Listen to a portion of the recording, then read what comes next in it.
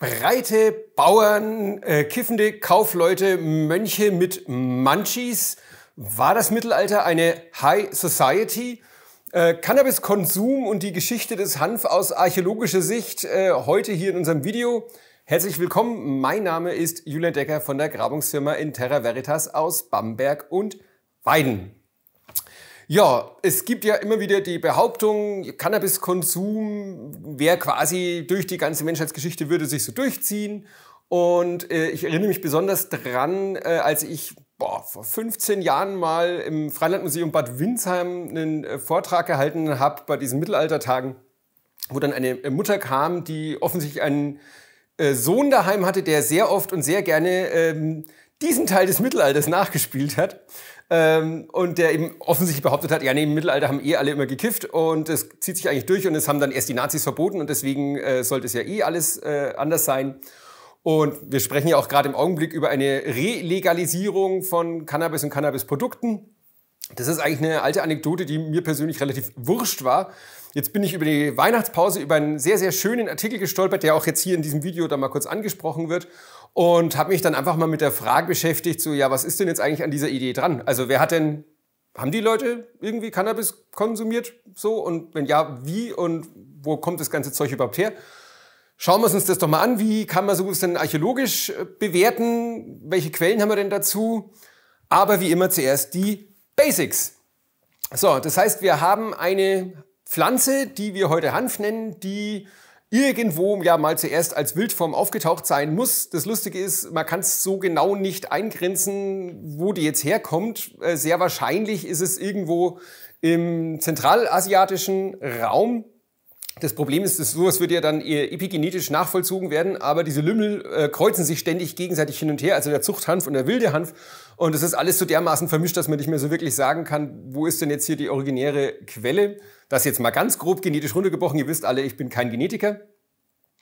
Ähm, und wie gesagt, die, die, die ursprüngliche Ursprungs, also die Ursprungsregion ist sehr wahrscheinlich irgendwo zwischen Kaukasus und Westchina und da vor allem wahrscheinlich in diesen gewässerreichen Bereichen von Zentralasien. Ähm, bei den Wildpflanzen ist das Cannabinol, das heißt der Stoff, der eben dann äh, für gute Laune sorgt, ist da sehr, sehr niedrig. Das heißt, ähm, wenn man jetzt Hanfpflanzen irgendwo findet, keine Ahnung, verwilderte Pflanzen, die eben höhere THC-Werte haben, zei zeigt uns das eben schon mal an, okay, hat schon mal jemand irgendwie ähm, ja, eine, eine Zucht betrieben. Und ähm, wann, wo und wie eben diese Hanfpflanzen so gezüchtet wurden, um höhere THC-Werte zu bilden, ist eben auch genauso unklar. Weil wir können, wenn wir schon nicht wissen, wo das Ursprungsgebiet ist, wer fängt denn jetzt an irgendwie und macht dann höhere THC-Gehalte? Gibt es eine Theorie dazu, müsst ihr dann aber bitte selber den Artikel anschauen. So, jetzt haben wir dann natürlich auch Schriftquellen dazu, die uns da hoffentlich ein wenig erhellen können. Und äh, soweit ich weiß, der älteste schriftliche Hinweis auf die Cannabisverwendung zur geistigen Umnachtung kommt von Herodot aus den Historien, die so circa 430 vor Christus rum geschrieben werden. Der schreibt, also alle Altphilologen bitte rechte Spalte lesen, alle anderen links.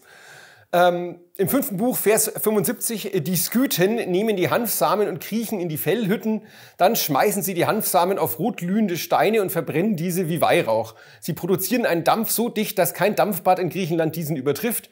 Die Skythen sind entzückt vom Dampfbad und heulen wie die Wölfe.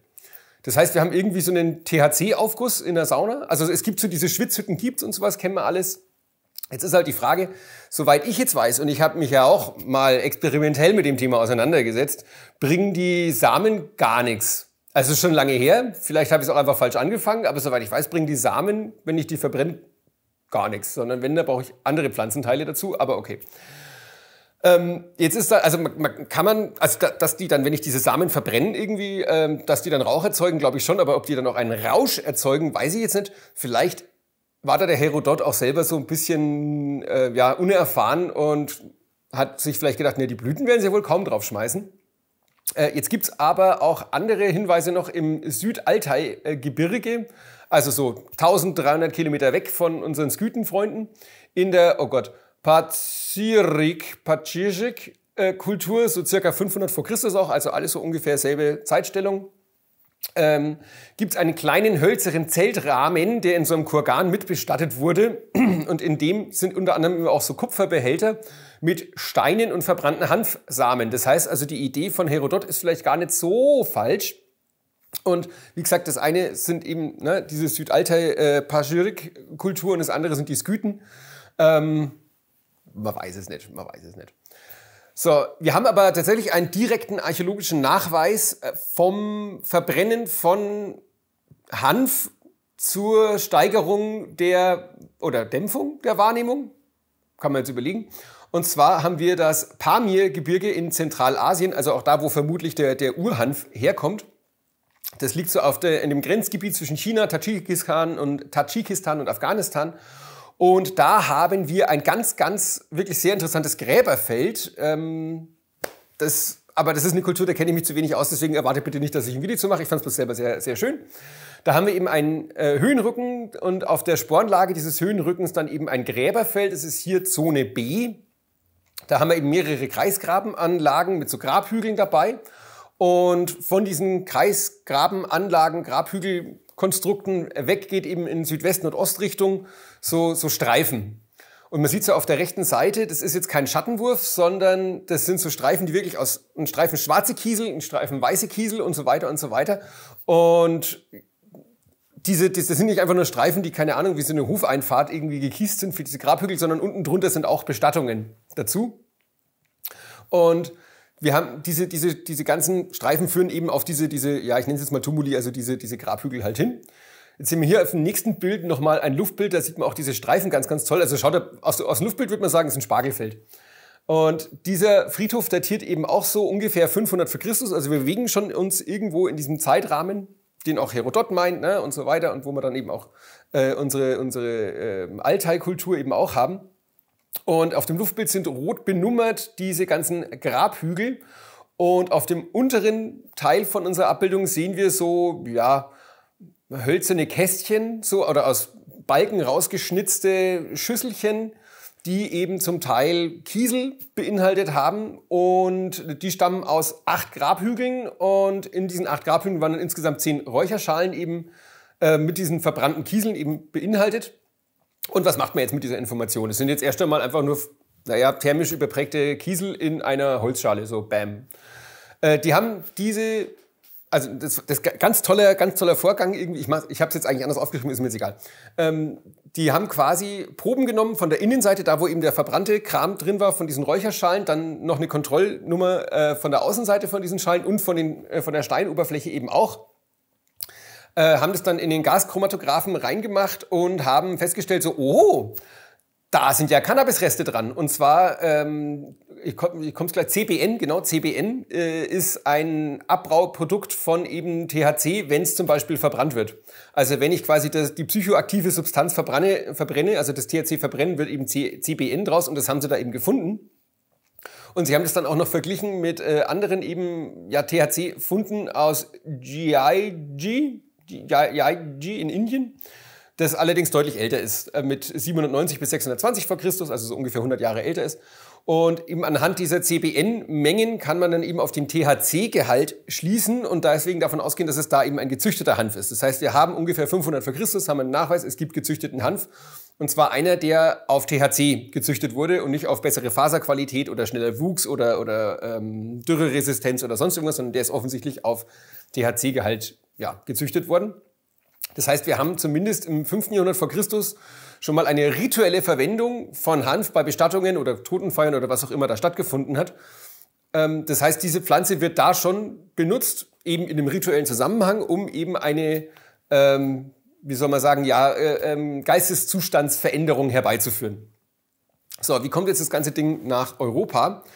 Äh, da gibt es zwei Theorien. Ähm, das eine ist, ich habe das hier mal ganz simpel, das ist ein alter Schulatlas von mir, und zwar dann da mit roten Linien und mit blauen Linien die beiden Hypothesen mal kartiert. Und zwar die rote Linie, ähm, na, wir haben ja auf der Krim sitzen die Skythen zu dem Zeitpunkt. Und wer sitzt auch noch auf der Krim? Richtig, unsere Griechen. Ne? Wir, wir, alle erinnern uns noch drum, ne? wie die Frösche um den Gartenteich.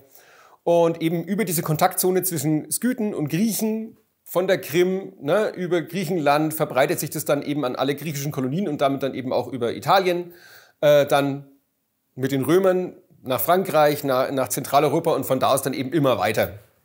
Die andere Theorie ist, dass es eben erstmal mit den Griechen und der Krim gar nichts zu tun hat, sondern eben über dieses äh, Elbrusgebirge, ähm, über Persien dann eben nach Anatolien und so weiter und dann eben bis, an, bis da halt dann nach Griechenland und von da aus geht dann der Weg schon gleich weiter. Die knicken vorher halt noch einmal nach Ägypten ab. Sei es drum, irgendwann kommt dann eben der Hanf in Europa oder im Mittelmeerraum eben an und äh, das Lustige ist, ich habe jetzt dann, ich war eigentlich schon fertig mit dem ganzen Vortrag, habe dann äh, noch was anderes gelesen und bin zufällig über den anderen Artikel gestolpert, wo eben jemand eine Pollenanalyse von Seeufern in der Nähe von Rom gemacht hat. Und da hatten sie Hanfpollen drin, die auf circa 1000 vor Christus datieren. So, das ist aber doof. Jetzt sind wir 500 Jahre älter als da, wo wir eigentlich gesagt haben, dass der Hanf doch eigentlich ganz woanders herkommt.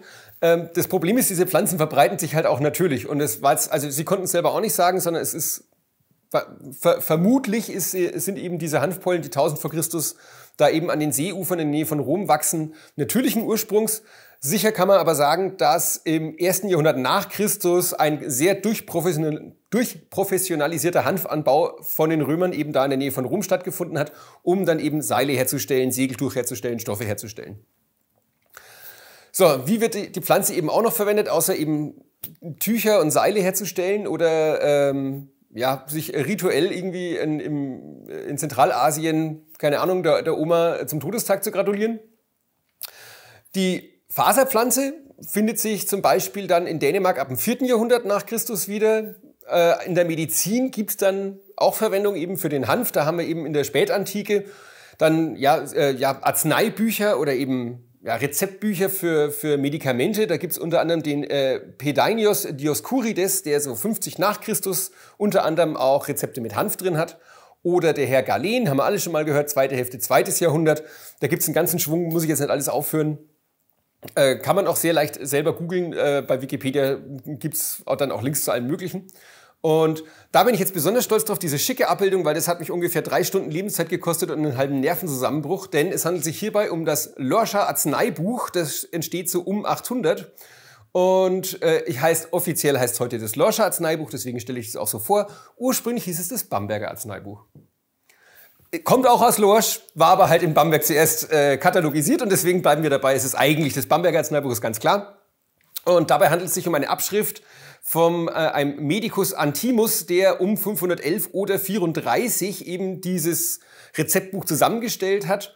Hat komischerweise, also in der Abschrift, die wir haben, eben auch jüngere Rezepte mit drin.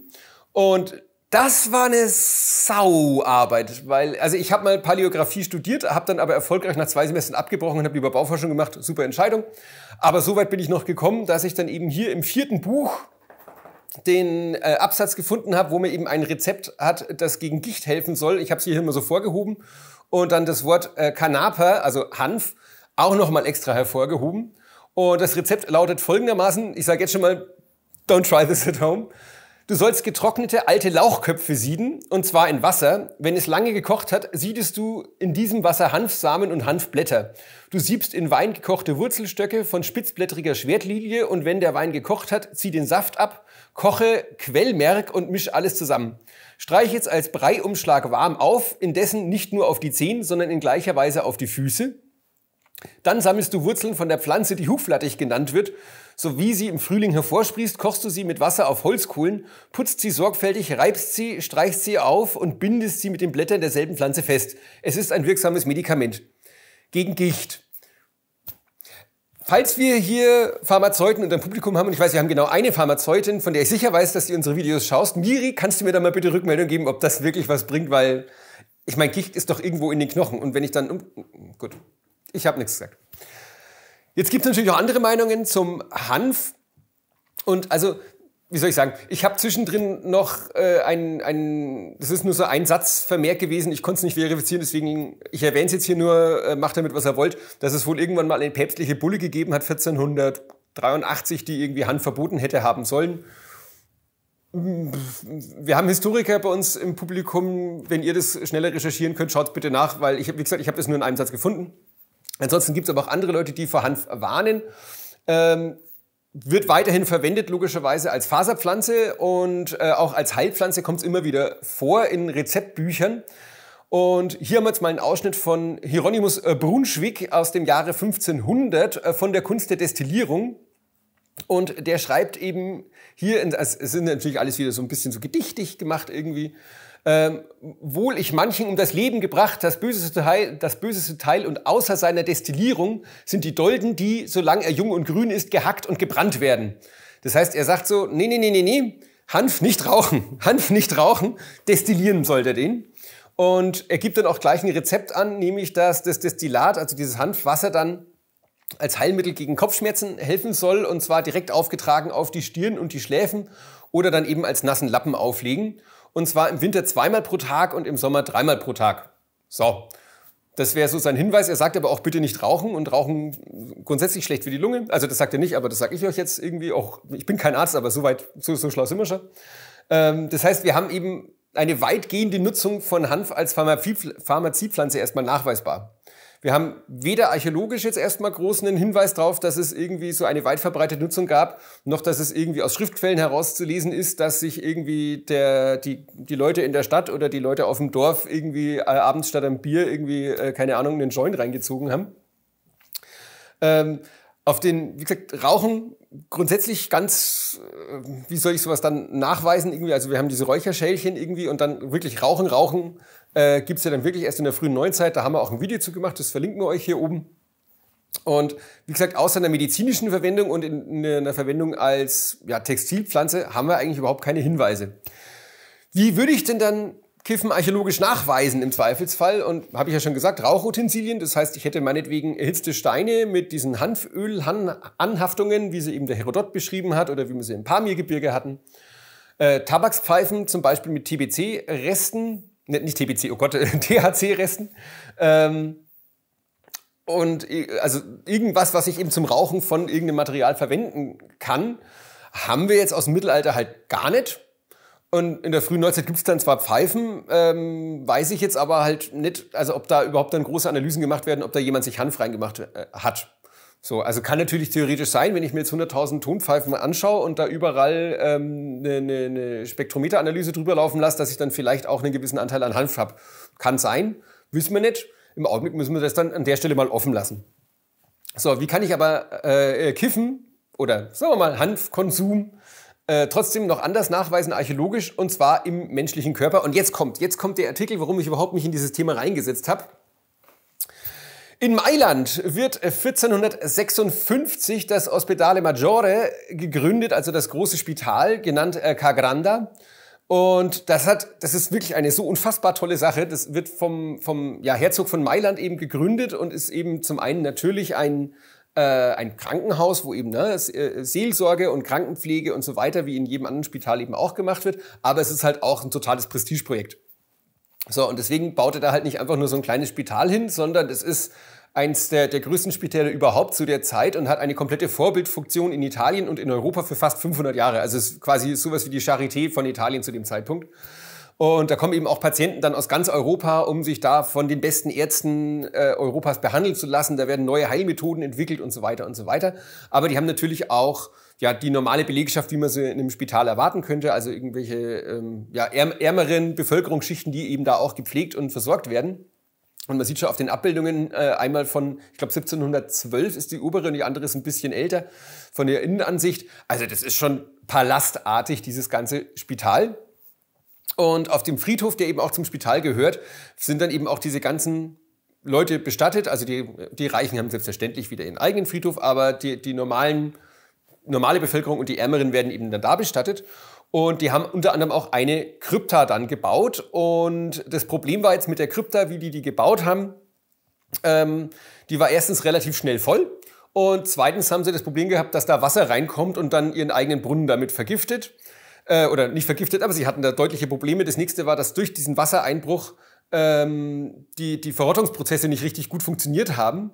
Und es ist natürlich dann auch geruchsmäßig dann irgendwie nicht so toll. Das heißt, die äh, haben dann diese Krypta irgendwann nicht mehr benutzt.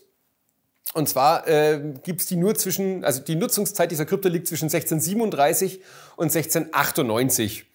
Also so ungefähr 50 Jahre. Und die Schätzung wie viele Knochen sich da drin befinden, liegt bei ungefähr zwei Millionen.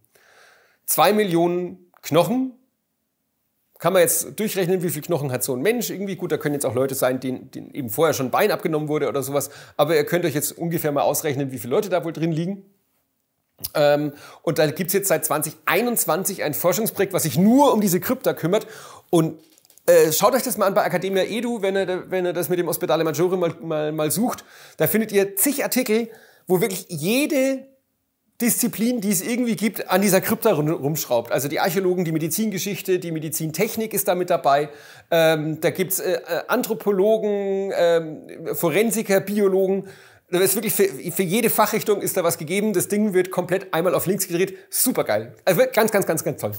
Ähm, deswegen, wir haben es auch bei uns wieder auf der Literatur, äh, in, auf der Webseite, äh, Matja et al. 2022. Da geht's jetzt um, um, um den Artikel, um den ich mich jetzt kümmere. Der hat aber noch andere Sachen geschrieben. Von o Nachweis von Opium. Super tolle Sache. Okay, äh, jetzt haben wir schon festgestellt, da sind jetzt zwei Millionen Knochen in dieser Krypta und die sind irgendwie alle nur so in diesem 50-Jahres-Zeitraum. Meint man.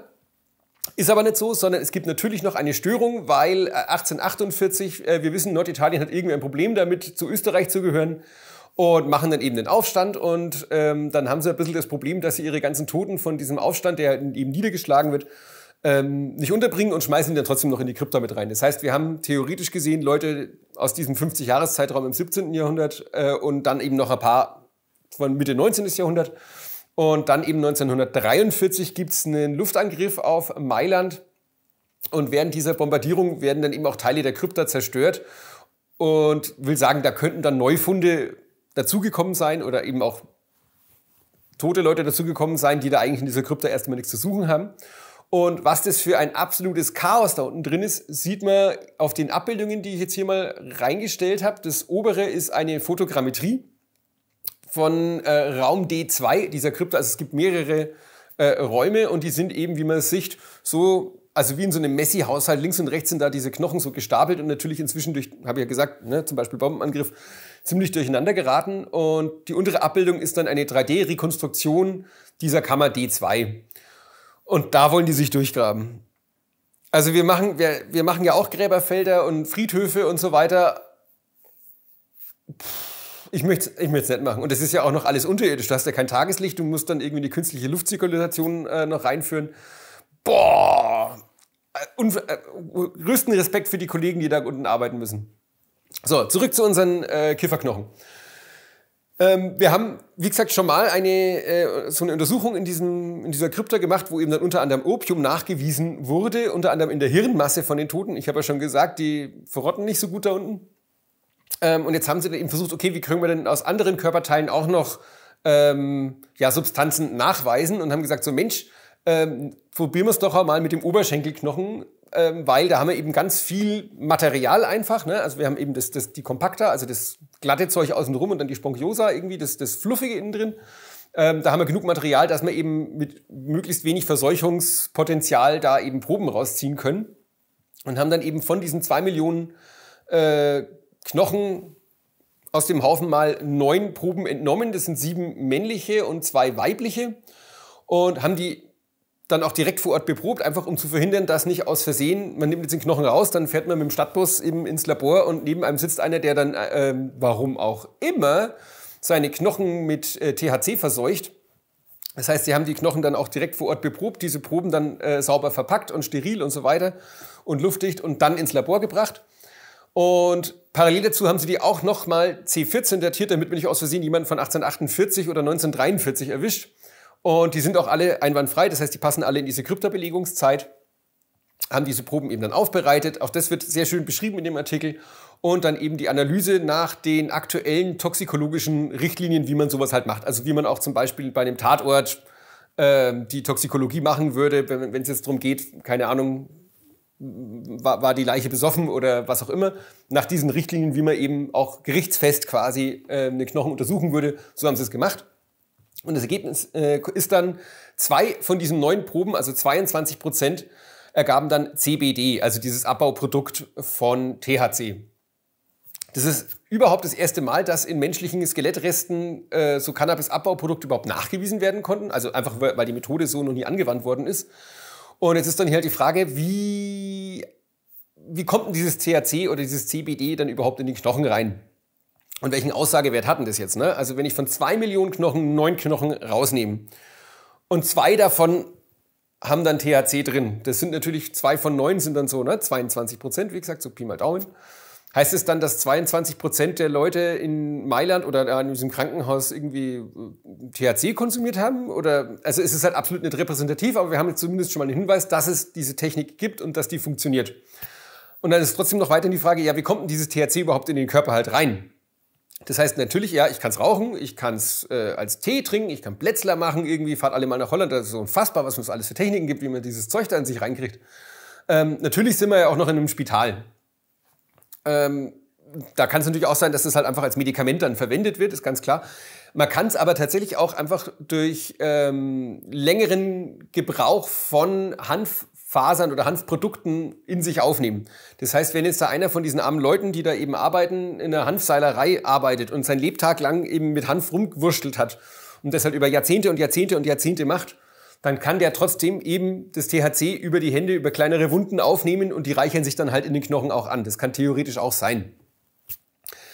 Jetzt ist natürlich die Frage, also sehr wahrscheinlich ist es natürlich als Medikament in die Leute reingekommen. Und das Schöne ist an diesem ähm, äh, Kagranda, ähm, dass die eben auch eigene Arzneibücher haben. Und ähm, da ist eben sehr genau aufgeschrieben, welche Medikamente verteilen wir, wie werden die hergestellt, in welchem Fall wird was gegeben.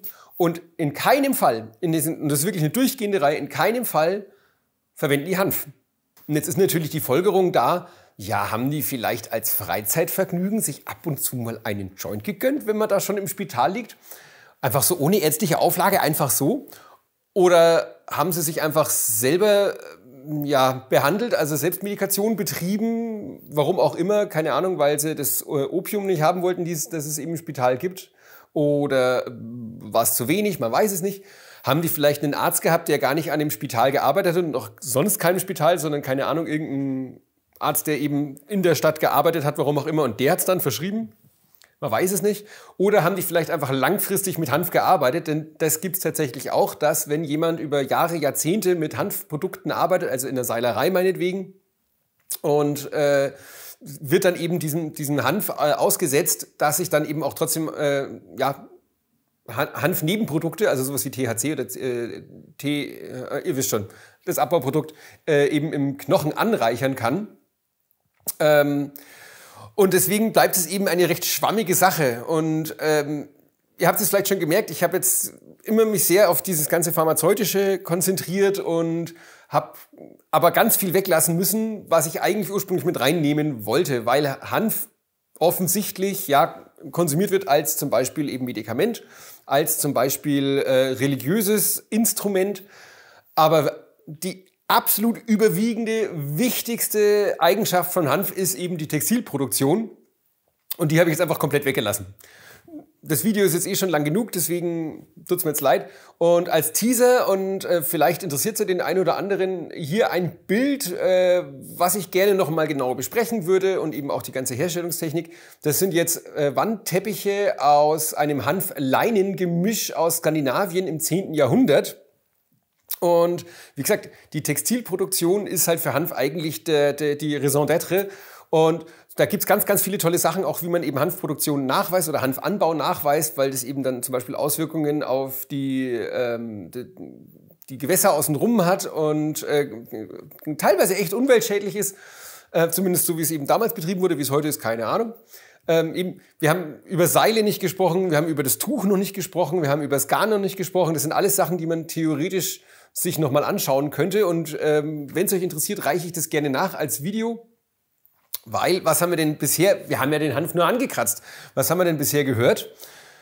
Den Hanf gibt's seit der Vorgeschichte eben in Europa. Es ist hauptsächlich eben ein ja, Werkstoff für die Textilproduktion und in einem geringeren Maße dann eben auch für die Lebensmittelproduktion, also zum Beispiel Hanföl.